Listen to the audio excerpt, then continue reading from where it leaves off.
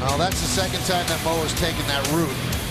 During the ceremony, there was a live rendition of Enter Sandman, and he walked in.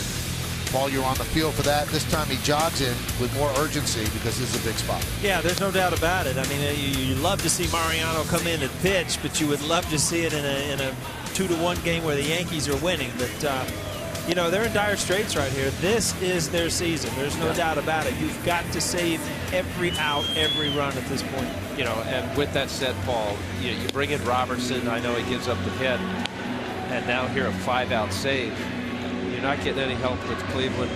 They're ahead, and also Tampa Bay. So this is this is it. You're right. He's bringing in Mo to stop it from being uh, any more than a two to one uh, deficit.